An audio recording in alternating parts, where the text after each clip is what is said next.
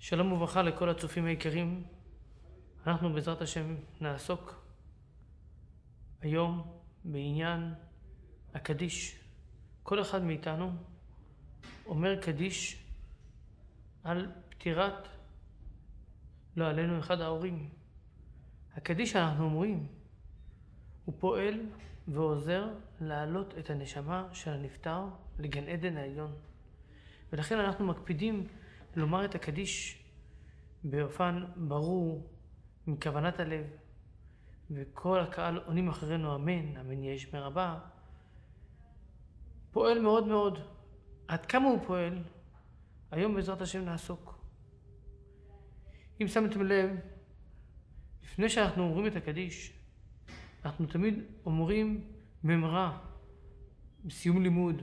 אנחנו אומרים את הממרה, רבי חנניה בן הקשיא אומר, רצה הקדוש ברוך הוא לזכות את ישראל. לפיכך הרבה להם תורה ומצוות, שנאמר, אדוני חפץ למען צדקו יגדיל תורה ויאדיר. מהו הממרה הזאת, ולמה אנחנו אומרים את זה לפני הקדיש? וזה, נסביר את זה עכשיו. רבי חנניה בן הקשיא למעשה, הסיפור המדהים שמסופר עליו, הוא היה בתקופת סוף בית שני. היה אחד מגדולי התנאים. ואת הממרה הזאת שהוא כתב, הופיע במשניות מסכת מכות, הממרה הזאת. שמה הוא אמר? הוא אמר שכל אדם שרוצה לקיים כמויות אדירות של מצוות, הוא יכול לקיים. איך הוא יכול לקיים? על ידי שהוא יכוון ויבין על כל דבר ודבר לפני שהוא עושה, שיש בזה מצווה.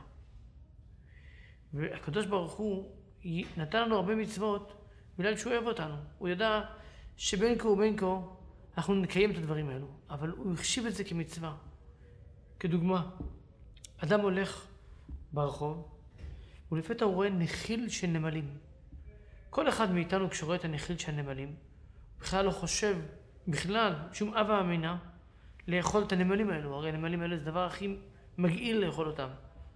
בעלי חיים, ג'וקים, כל מיני דברים. אף אחד לא יעז לאכול אותם. כל נמלה שאדם לא אוכל, הוא מקיים חמש, חמש מצוות. יש חמישה לאווים, הוא מקיים חמישה מצוות. ואם האדם רואה את כל הנחלים האלה של הנמלים, והוא מקפיד ולא אוכל אותם, הוא מקיים רבבות של מצוות. אז ברגע אחד הקדוש ברוך הוא מזכה אותנו לקיים רבבות של מצוות, ולפיכך ריבה להם תורה מצוות. וזה הגמרא אומרת, ומה דם שנפשו של האדם קצה? הרי האדם לא יכול לאכול דם, דם, לשתות דם של בעל חי. האדם לא יכול לשתות, זה דבר מגעיל. האדם קצה נפשו. אבל אם הוא מקיים ומכוון לא לאכול את זה, הוא זוכה במצוות. קל וחומר, עריות. שהנפשו של אדם חוכמדתם רוצה אותם לעבור גילוי עריות, והוא מתגבר עליהם, אז הוא זוכה למצוות. וזה מה שהקדוש ברוך הוא נתן לו, זה מה שאמר רבי חנניה. אבל למה מזכירים את זה לפני שאנחנו אומרים קדיש, את הממרה הזאת? יש כל כך הרבה ממורות בש"ס, למה דווקא את הממרה הזאת? קודם כל אני אספר לכם מי הוא היה רבי חנניה בן הקשר. מסופר עליו שהוא היה ראש ישיבה גדול מאוד בבבל. הייתה לו ישיבה מאוד חשובה. היו לו בישיבה 1,500 תלמידים. 800 תלמידים בישיבה שלו היו באים אצלו לישיבה והיו לומדים ומקבלים משכורת חודשית. כמו שהיום יש שם כוללים של אברכים, שנותנים לכל אברך משכורת, הם מקבלים משכורת ממנו. ועוד 700 תלמידים היו אוכלים ושותים ויושבים אצלו והיה מפרנס אותם הכל בכל מכל כל. הם היו עניים מרודים, והיה ממש מכלכל אותם בצורה בלתי רגילה. רבי חנניה בן הקשיא, חוץ ממה שהוא היה מפרנס את התלמידים האלו, הוא היה גם דואג להם מבחינה רוחנית, מלמד אותם, מכניס אותם בעבודת השם, בדרך השם, ביראת שמיים. היה מנחיל להם תורה, מצוות ומעשים טובים. הקדוש ברוך הוא זימן לידו יהודי עשיר מופלג, שקראו לו אבא גוריין. העשיר המופלג הזה היה מחזיק לו את כל הישיבה. כל הישיבה כולה, מחזיק לו את כל הישיבה. וככה שהוא היה יכול גם לא להיות טרוד בלאסוף כספים, אלא הוא היה יושב ולומד, והכסף היה בא מאליו, והיה מחזיק לו את הישיבה. לימים, אבא גוריין חלה, מצבו, הקש... מצבו הבריאותי הידרדר.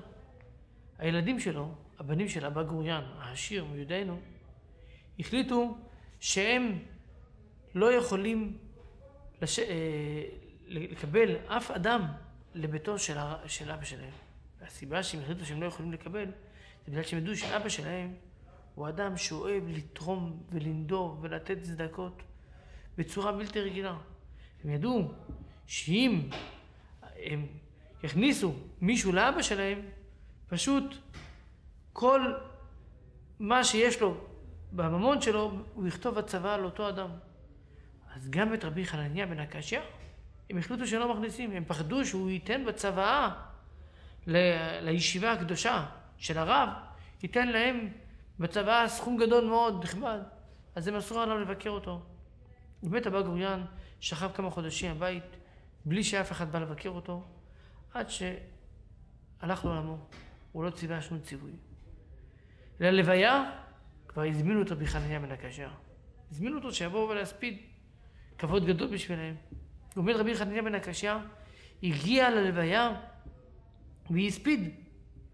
הוא נשא דברים והספיד את העשיר הגדול אבא גוריין. וכך הוא הספיד בהספד שלו. וכך הוא הזכיר. ויגדל האיש באושר, וילך הלוך וגדל בצדקה וחסד, עד כי גדל מאוד. ויהי לו מקנה צאן. מי זה מקנה צאן? תלמידים קטנים, ומקנה בקר, תלמידים גדולים. אשר החזיק בידו בעבודה רבה, מקומות וצורכי ציבור, נתן להם עושר וכבוד לתלמידים שלו. ויחפרו בארות בארות. אלו הבארות המים שבהם השקע את התלמידים והאכיל אותם והשקע אותם וטיפל בהם. ורמז בצניעות ויסתמו אותם פלישתים. מי הפלישתים שסיתמו אותם? אלו הבנים שלא הלכו בדרך השם. מה הם עשו? הם לקחו סתימה וסתמו את הבארות האלו. כל הבארות האלו, היקרים האלו, הם סתמו אותם הפלישתים, אלו הבנים. רבי חניה בן הקשר פתח את הבארות האלו, הם סתמו אותם. הכאב, הכאב של רבי חניה בן הקשר היה גדול מאוד.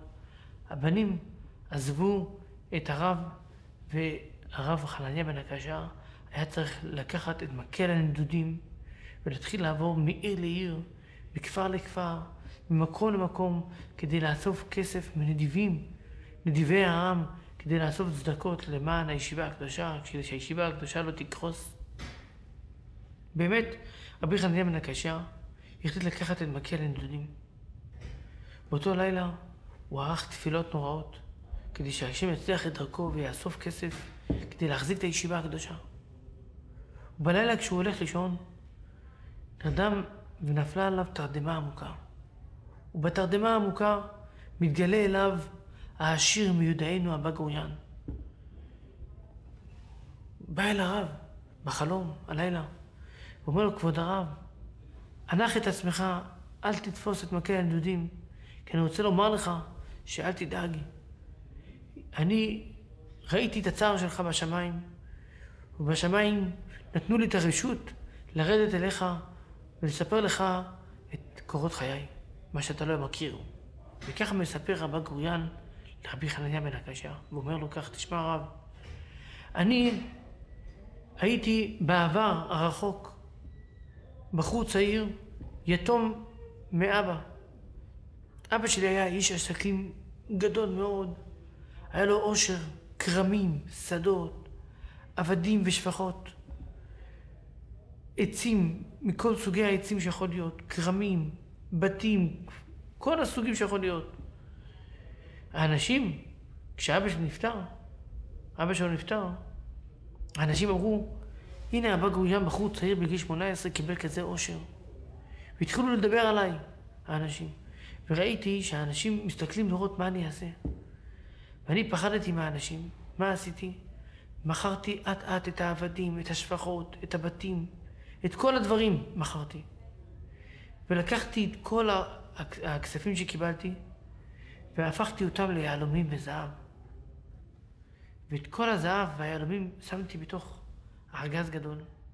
התחלתי לשמוע את האנשים שאומרים, אבא גוריין מאבד את ממונו של אביו. הנה הוא הפסיד את כל הכספים. לקחתי את כל הממון שהיה לי. אנחנו היינו גרים בציפורי בבבל.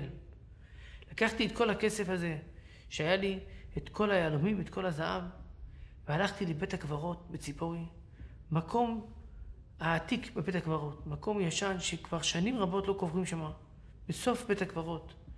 ושם ראיתי מקום שלא דורכת בם איש, חפרתי במקום ההוא, והטמנתי את האוצר הגדול הזה, ולקחתי קצת מהיהלומים ונסעתי לבבל. ושם אתה הכרת אותי. הלכתי לבבל, קניתי שדה אחת, והתחלתי לחרוש ולזרוע את השדה. יום אחד שאני חורש וזורע את השדה, נתקלה הפרה שלי, המחרשה שלה, בתוך בור. ראיתי בור, פתחתי את הבור, וגיליתי שם אוצר גדול. ומזה התעשרתי באושר גדול מאוד.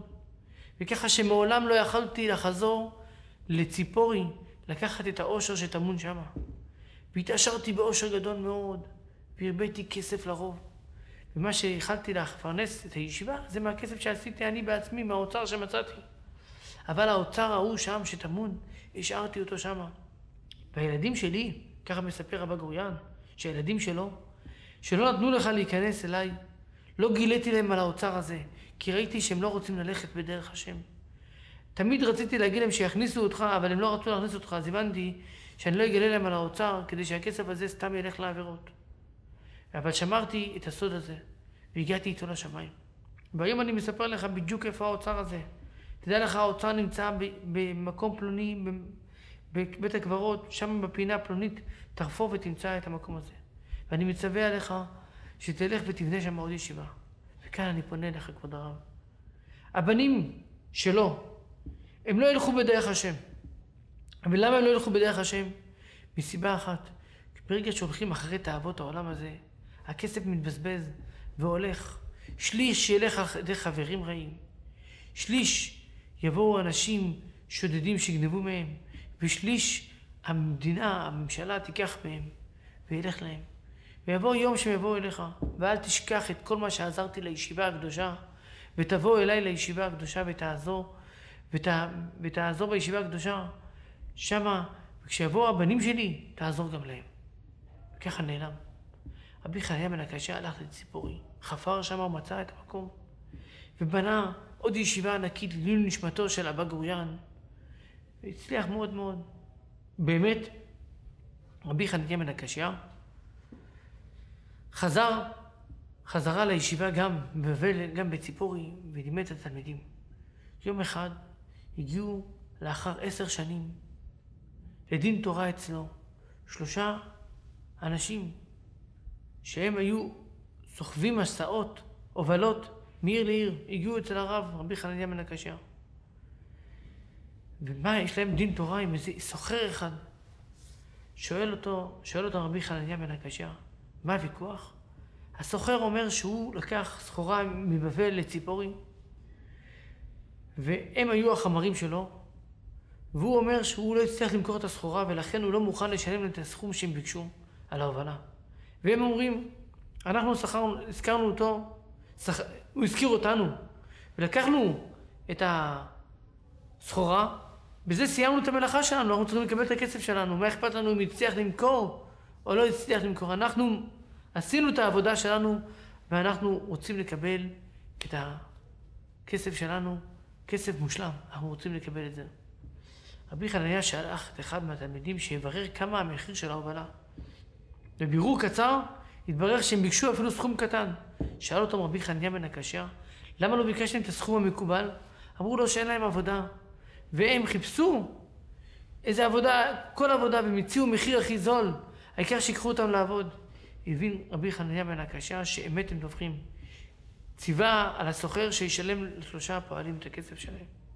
אחר כך שאל אותם רבי חנניה בן הקשה, האם אתם זוכרים אותי? אני זוכר אתכם. הם התביישו והפילו את פניהם ברצפה. התביישו מאוד.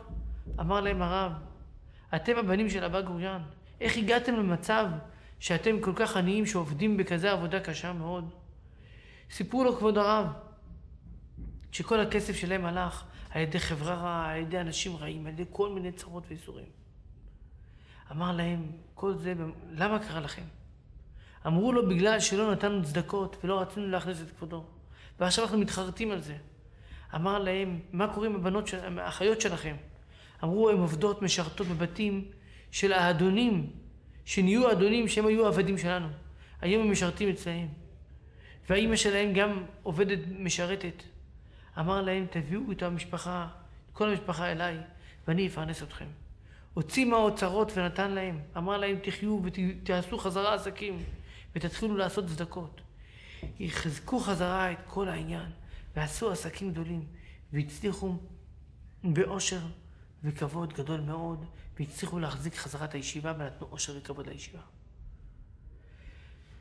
צופים היקרים, הסיפור הזה, זה היה סיפורו של רבי חנניה בן הקשה.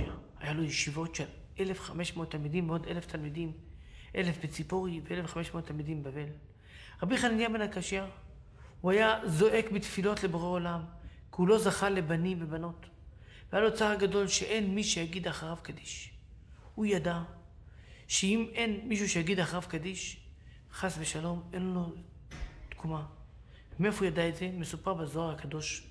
בזוהר החדש, סיפור על רבי עקיבא, שרבי עקיבא יום אחד היה הולך במדבר וראה אדם אחד שהיה סופר מטבעות של אש.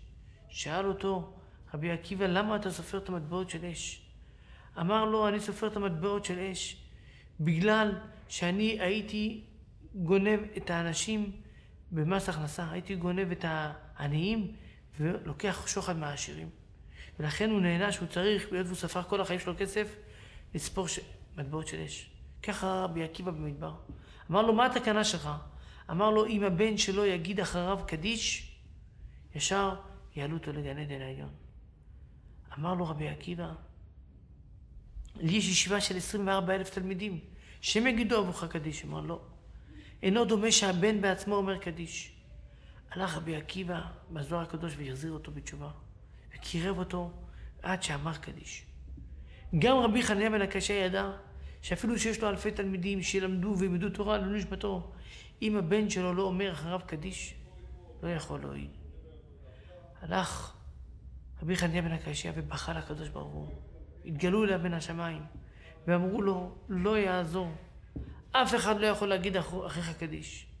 רק אתה נגזר עליך שלא יהיה לך בנים, אלא רק מה? הישיבה שלך, התלמידים שלך, הם הבנים שלך. בחר רבי חנניה בן הקשה, ואמר, אני יודע שזה קדיש, שזה לא כמו קדיש שבנים יגידו עבורי. אמר לו, התפילה שלך התקבלה.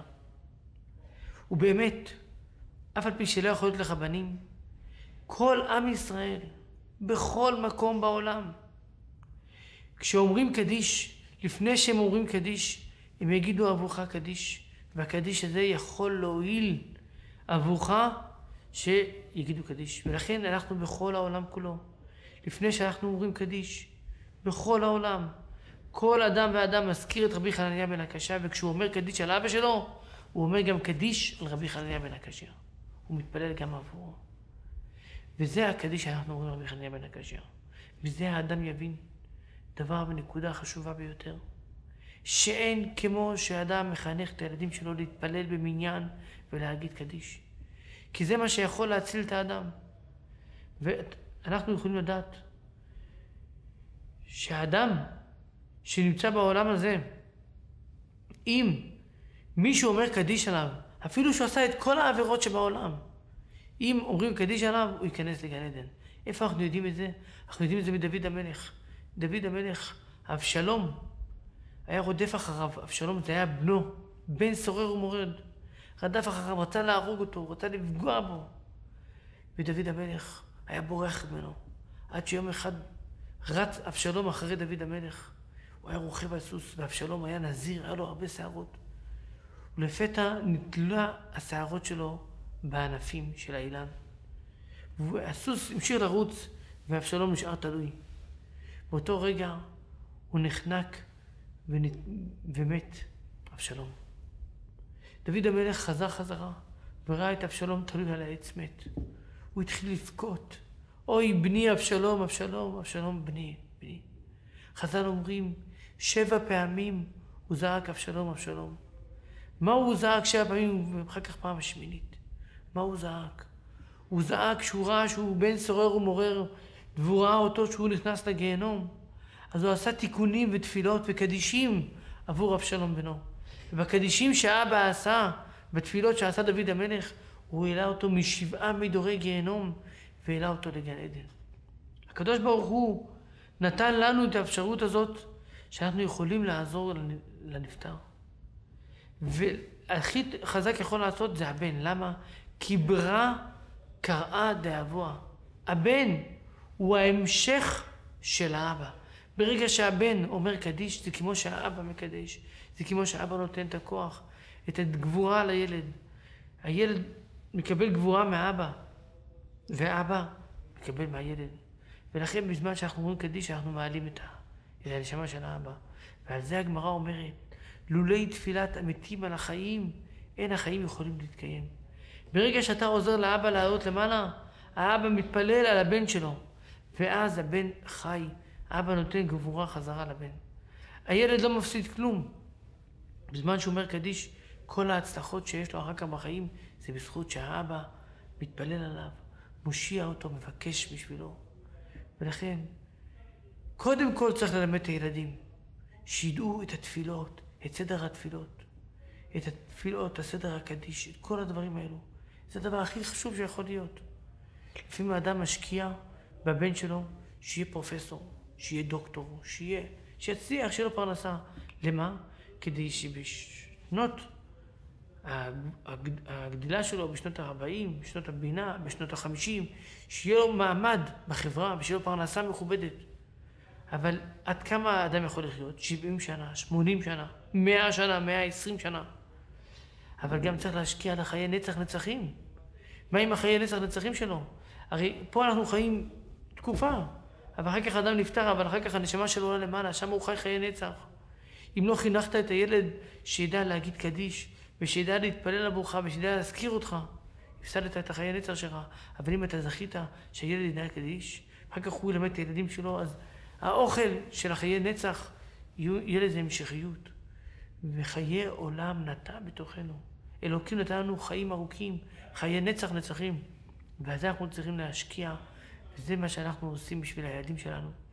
מלמדים אותם, מחנכים אותם, שידעו להתפלל, וככה מובטח לנו מקום בגן עדן העליון, יחד עם הצדיקים האמיתיים, שנזכה בעזרת השם לזכות חיי נצח בגן עדן העליון, אמן ואמן. שלום וברכה לכל המאזינים.